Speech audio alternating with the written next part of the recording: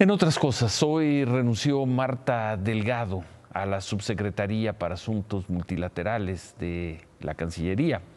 Renunció porque informó que se suma de lleno a promover la candidatura presidencial de Marcelo Ebrard en Morena. Marcelo Ebrard le dio las gracias y tuiteó, reconozco el gran valor de la decisión que has tomado, Marta, para dedicarte al 100% a la propuesta que encabezo con miras al 2024.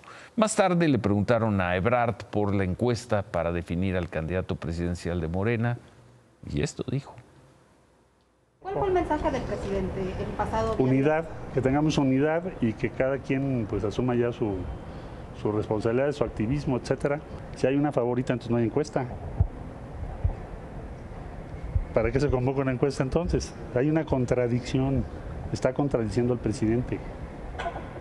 Eso es. Nada más es de leer lo que dice y lo que pintan en las paredes. Si es Claudia, pues ¿para qué hacemos encuesta, no? Si es Claudia, pues ¿para qué hacemos encuesta, no?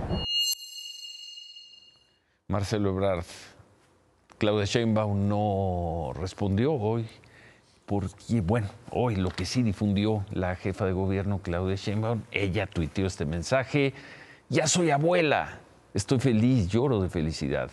Gracias Rodríguez y Sofi, bienvenido, querido y amado Pablo.